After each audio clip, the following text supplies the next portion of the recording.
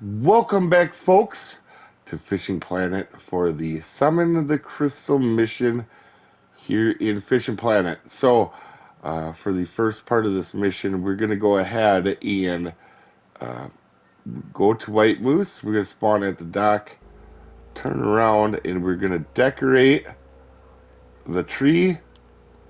And we are going to go ahead and go up to that. And now we're going to have to catch the Crystal Burbot, which I've done in years past, so that is not going to be too hard.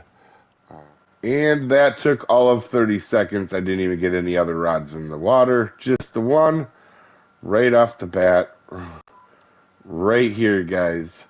Uh, 20, negative 17. Uh, but that came out right away. It wasn't even much of a problem. Anyway, hopefully this helps you out, guys. We'll see you next time. Have a good one, folks.